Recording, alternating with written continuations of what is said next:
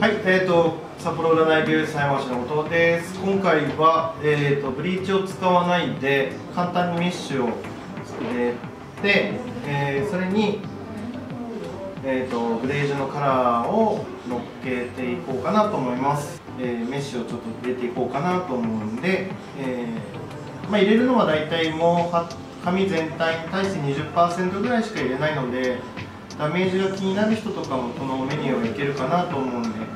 今日は、えーと、2プロセスでやっていきたいと思うので2回染めにします。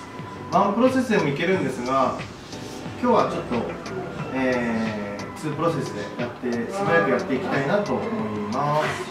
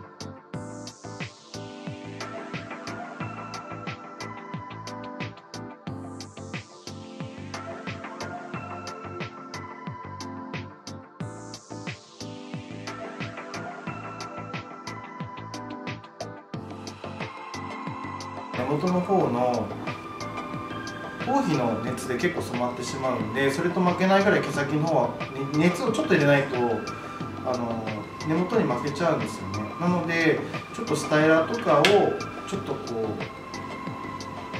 少し温めてあげても僕はいいかなと思います。まあダメージ気になる方はあんまやらなくてもいいと思うんですけどこっちの方が上がっちゃうことがあるのでそれだけ気をつけてください。例えばラップをしてしまうとあのこっち側だけ明るくなっちゃうんですよね。熱に反応するんですよ入れると。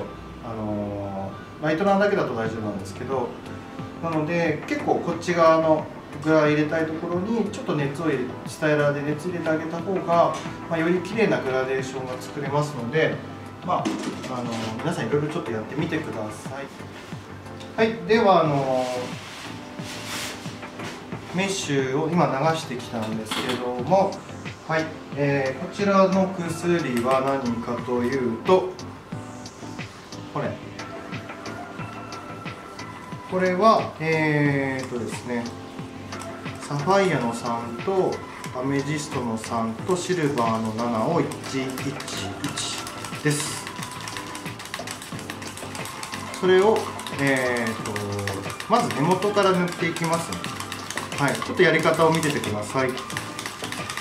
これ今混ぜてで根元から塗っていくんですけれども。はい。まあちょっと今日はハケで塗っていきますね。はい。ちょっとハケ塗りします。普段はちょっとしないですけど。でハケ塗りゼロテクでいきます。はい。皆さんハケ塗りゼロテクやりますか？えっと、ポイントとしては、えっと、どうするかっていうとこれもあの髪の毛のこの角度引っ張ってる角度と同じぐらいまで寝かすんですよね。で立てるとどうなるかっていうと髪の毛のこの中の方に薬がついちゃうんで寝かすことによってあのゼロテクってできるんですよ簡単に。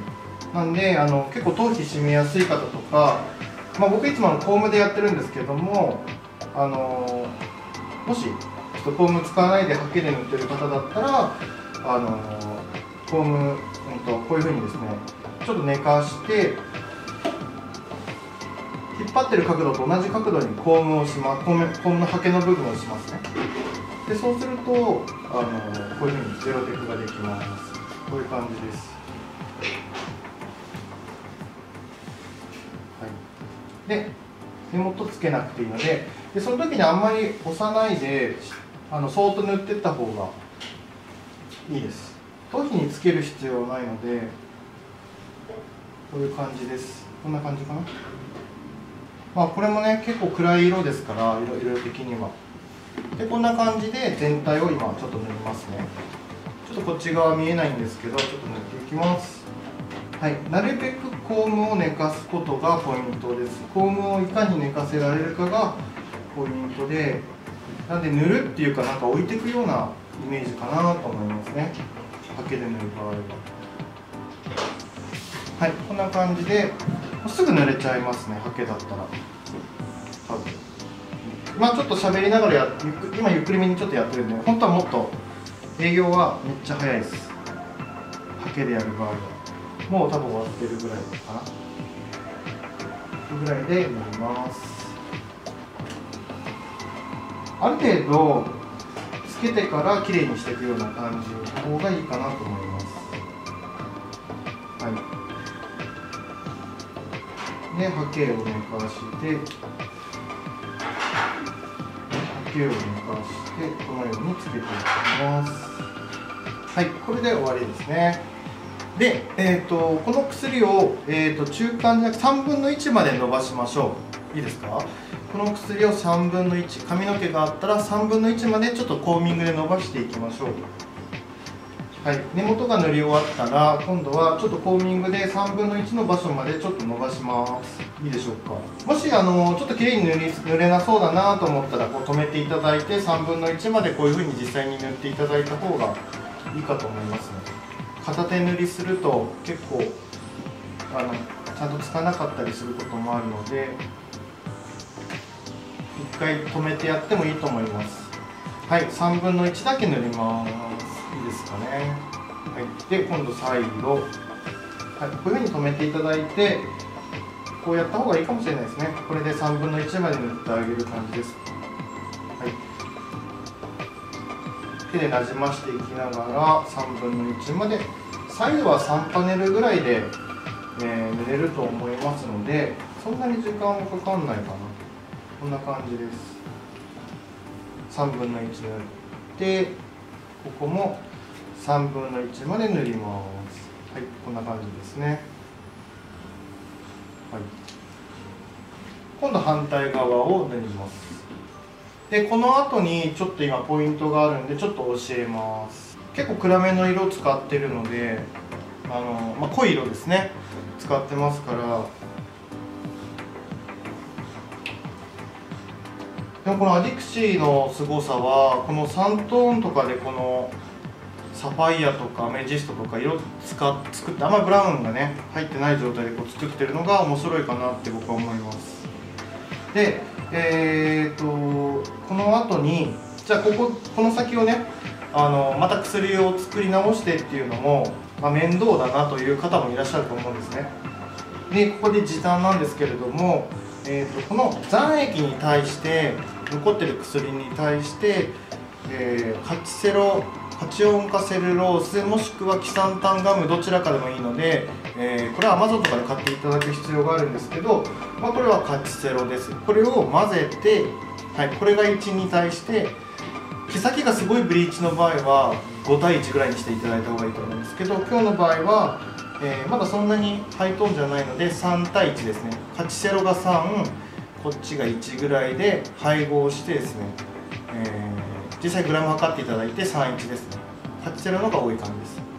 もしくはキサンタンガムですね。でそれを毛先に塗っていくっていうような感じなんであの毛先の量が少ない場合は残液が結構多めに残ってる場合は残液捨ててください。で捨ててからカチセロ入れた方があの薬の無駄遣いにはなりませんので多い量で入れちゃうと結構な量、ね、あの使うことになりますからあの余す量が多くなっちゃうんですよね。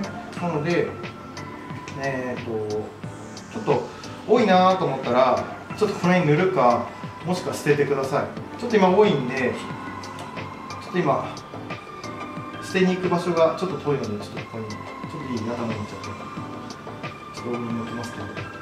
はい。で、えー、残液がまあこれぐらいに対して、まあ、本来はあのちゃんと測ってください。今日は僕はあのいつもやってるので自分の分量でいけるんですけどこれね水で溶くんですね。皆さんちょっとやったことない方はあれなんですけどこれ水で溶いてあの時間置いとけばこういうふうにあの増粘剤になりますから。この卵の白身みたいな感じに。なるんではい。でこれをえーまあ、これね実際にそのメーカーさんがミルボンさんがこういう使い方するって言ってるわけじゃないので、あの、この使い方がいいかわかんないですよ。でこのまま混ぜます。いいですか？混ぜていきますね。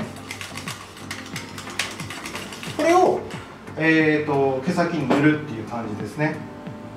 だけです。でそのまま放置。っていうだけです。それだけです。やり方としては。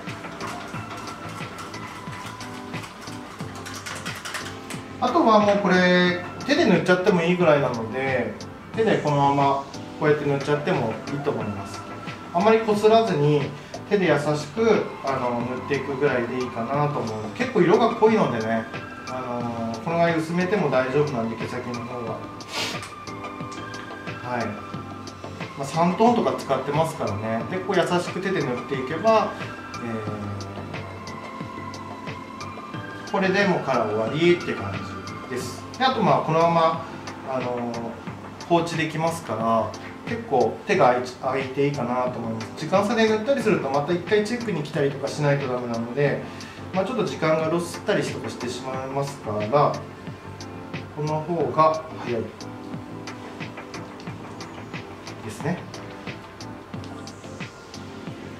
あとあのこの増粘剤カチセロとかキサンタンカム入れる量っていうのはやっぱりあの経験積まないと分かんなくなってくると思う分かんないと思うんでそれはねやっぱり実際にあのモデルさんなどでちょっと練習してからお客さんに使っていただいた方がいいかと思います。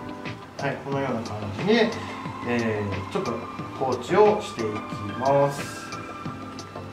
僕はあの根元上がったりするのがモデルさんちょっと根元上がりそうな感じがするので、まあ、3トーンでもですね結構怖いのでラップはしないでこのまま置いていこうかなと思います。